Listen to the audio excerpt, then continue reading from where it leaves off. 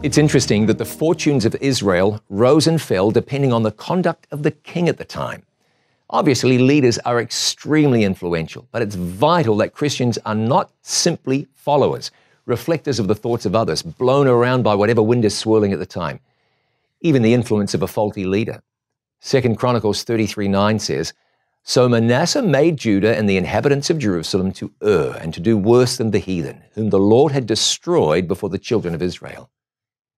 Even though the leader was deeply flawed, it was the responsibility of the people to be true to God, regardless of what was going on around them.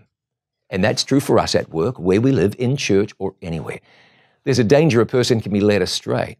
It's important that whoever you are following doesn't lead you astray. Don't let others influence you away from God. I'm John Bradshaw for It Is Written. Let's live today by every word.